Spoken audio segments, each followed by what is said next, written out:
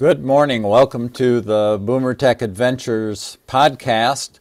This is Ed Brazee, and you can see my colleagues Jill Spencer and Chris Toy. And this morning we're going to talk a little bit for just a few minutes about a new iPhone. We all have iPhones, we like them, but we're always thinking about the next iPhone. So we're going to talk a little bit about um, the current iPhone that we have and, and what we're thinking about for the next one because we get this question from our clients and friends all the time about what they want to do as far as should I get an iPhone now, should I wait until the next one comes out, and so on and so forth. So does someone want to start? Sure. Jill, you've got the oldest iPhone amongst the yes. three, so that would be great. I, I have an iPhone 10, which is terrific. Of course, they stopped production on it, I think, about a year after I bought it, but that hasn't been a problem. It still updates, etc. And um, there's nothing wrong with it. Does everything I wanted to do.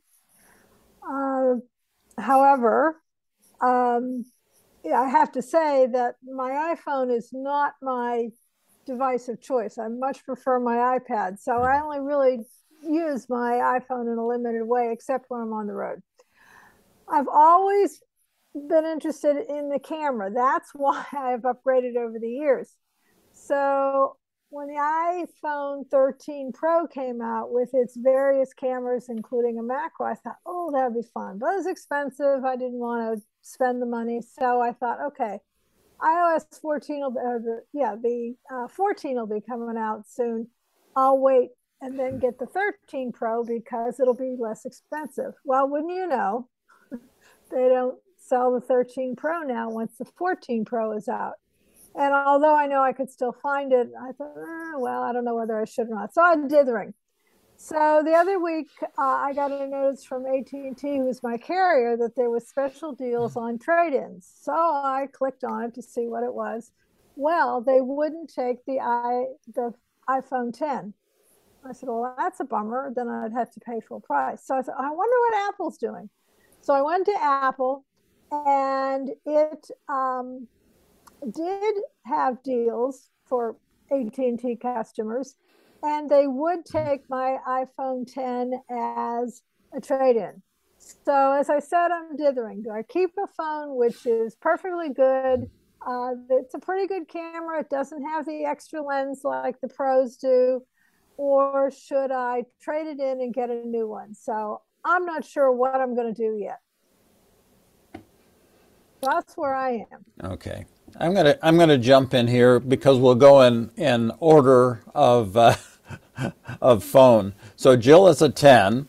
I have an 11 that I got a couple of years ago um, that I like. Um, it has some uh, nice features on the camera that I haven't really taken advantage of as much as I'd like to. But um, the iPhone 11 has been a good a good phone, and I haven't really been thinking about um, upgrading until I get the darn um, advertisements through email all the time from Verizon. Um, just one other side note, I think it's kind of interesting. We each purchase our phones in a different way. I usually go, I've gone to our local Best Buy and, and purchase through them. Jill, I think, purchases through her carrier. Usually, yeah. Usually until, yes. And then Chris, I think, has purchased directly through Apple. Is that right, Chris? Um, mostly through my carrier as well, but okay. Joe and I have different carriers, so we actually probably get different different offers. Right. Okay. Okay. So as far as iPhone 11, um, they're up until iPhone 14 came out in September, just a, a month ago. Um, the iPhone 13, which was the latest one to that point, was pretty enticing as far as the advertisements. And Jill and Chris will laugh because I've been bugging them all the time about what I should do. Should I upgrade or not? I've been talking about it ad infinitum, but I haven't done anything yet. So I'm still happy with uh, the 11, but I uh, probably will upgrade sometime um, just to have just to have the newer one that can do some other things. Chris, how about you? Yeah, so um, up until recently, my, my main reason for upgrading my phones has been the camera. Um, I, I, do a fair amount of um, hiking and biking and kayaking, and you know it's easier to have a camera than it is to uh, carry my my full length telephoto lens. and um, so as the cameras have gotten better, um, I, I've upgraded, but now there's a new reason for me to consider the mm-hmm. upgrade, and uh, that is um, often when I'm hiking in the backcountry, especially, um, I, I do a fair amount of uh, guiding um, up at Baxter State Park. And um, for most of Baxter State Park, there's no cell phone coverage. So, you know, that idea of being able to use your cell phone for emergencies or letting people know kind of where you are uh, doesn't work and um, this is this has been true in other backcountry situations where you just don't have cell phone coverage. The uh, newest iPhone, the iPhone 14, actually has satellite phone capability. Um, at this point, it's only for emergencies, uh, meaning that it, the uh, phone isn't yet capable of actually, you know, making phone calls, but it would it can be used as a beacon mm. so that um, people can can locate you via satellite so they'll know where you are. Um, so that's pretty interesting to me. The drawback is uh, that for some people myself included uh, we I, I liked the uh, small um, format of the mini iPhones and they were I, I believe they had like a five inch diagonal uh, screen. And in iphone 14 which is the newest one the one with the satellite they're discontinuing the mini.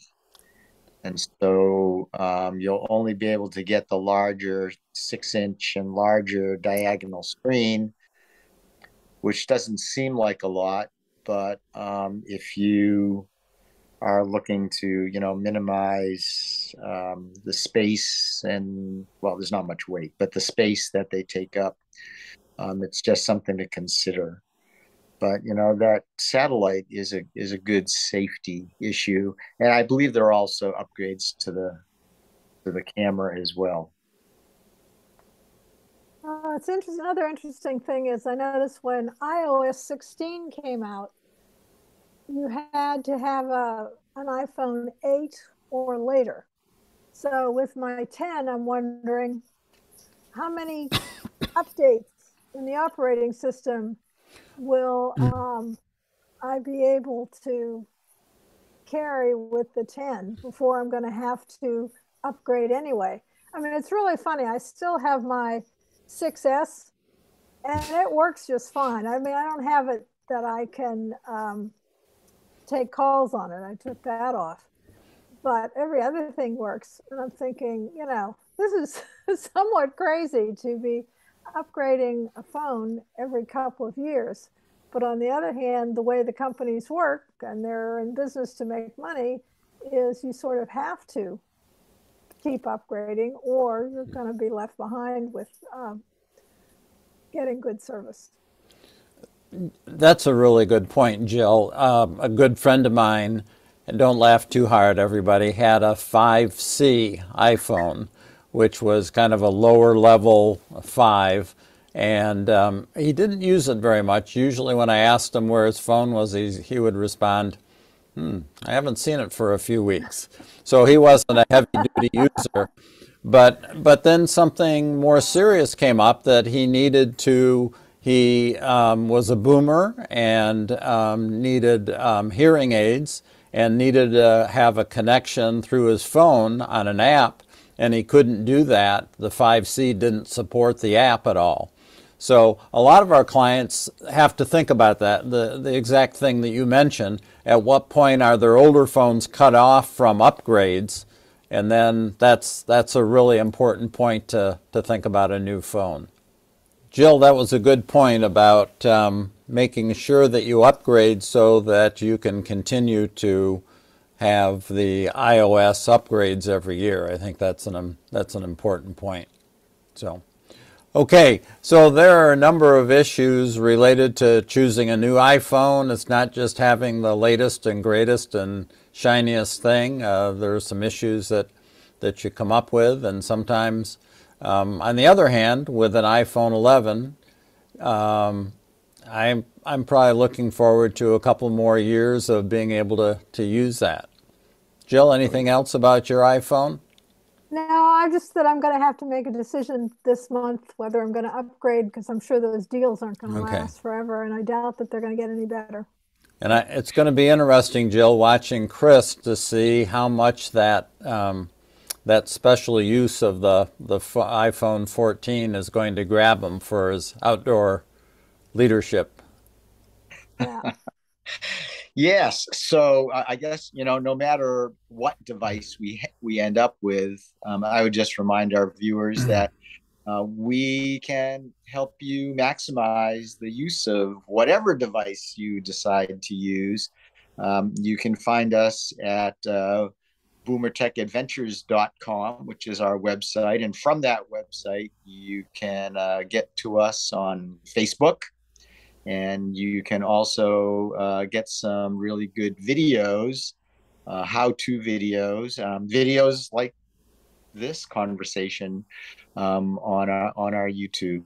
So three easy ways to to get get help from us. Also uh, you can subscribe to our uh, bta club which will give you um, instant and first access to uh, a lot of the information that we uh, gather. And they can also find us at babyboomer.com, that new website where they are having us posted under their technology tab. So there's another option. Lots of ways to to have us help you, and we're anxious to do that. So thanks for tuning in. Um, for Chris and Jill, I'm Ed, and uh, we'll see you on the next one. Thanks for being with us today.